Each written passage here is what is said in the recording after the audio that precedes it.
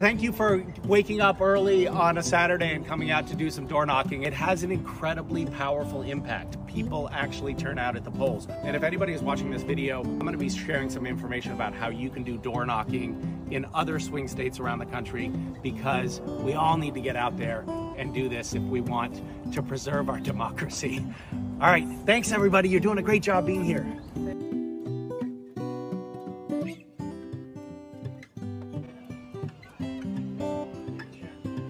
Bye.